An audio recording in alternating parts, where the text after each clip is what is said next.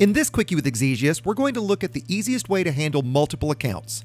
As many of us have a second or even a third or fourth account for various reasons, such as an alternate for deep space exploration or combat, let's look at the easiest way to switch between those accounts. It should be noted that for accounts purchased via Steam after April 2019, you can no longer use the launcher standalone and must launch via Steam. As such, only the first method here is applicable.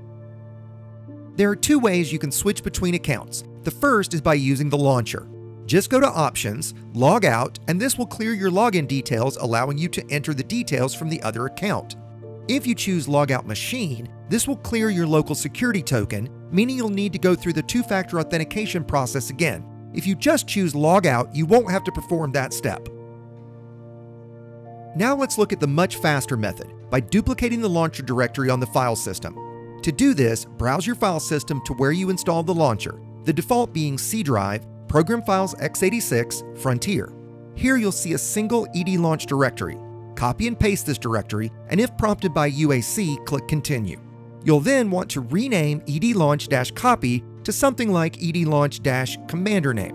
Next, open that directory and create a shortcut to edlaunch.exe, which will be placed on your desktop. Now, when you execute that shortcut the first time, you'll be prompted to log in using two-factor auth. Once you've completed this, it's as simple as closing the launcher and executing the shortcut for the account you want to launch, allowing you to switch between without needing to enter the username and password on each switch. If you've been considering a secondary account for something like deep space exploration, Elite routinely goes on sale for under $20 US. You can have a look at my previous long range exploration quick start guide which is tailored for intermediate to advanced pilots who are looking for tips on the fastest way to a long range exploration ship. Hopefully, this quick look at switching accounts will make that easier for those of you with multiple commanders. Once again, this has been Commander Exigeous, reminding you to fly dangerously, and thanks for watching. If you found that quickie with me helpful and you're new to the channel, I hope you'll consider subscribing and that you'll support me on Patreon for early access to new videos and exclusive Patreon only events.